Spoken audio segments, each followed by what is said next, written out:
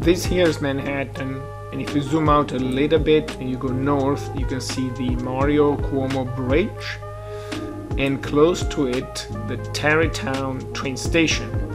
Very easy access from Manhattan via train. From there, very easy hop to the Old Croton Aqueduct Trail, super important trail on the Hudson River Valley. Going north then, passing Sleepy Hollow and reaching the uh, Rockefeller State Park Preserve.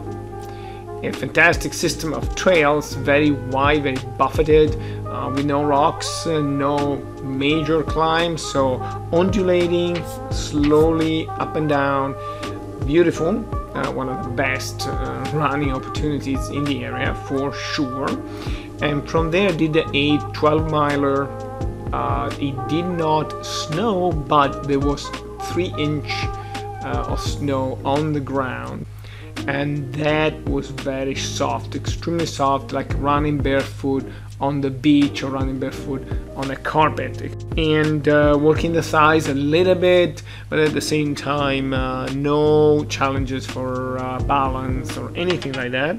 Um, and definitely a little bit cold uh, but just a seasonal cold and just enjoying uh, the day out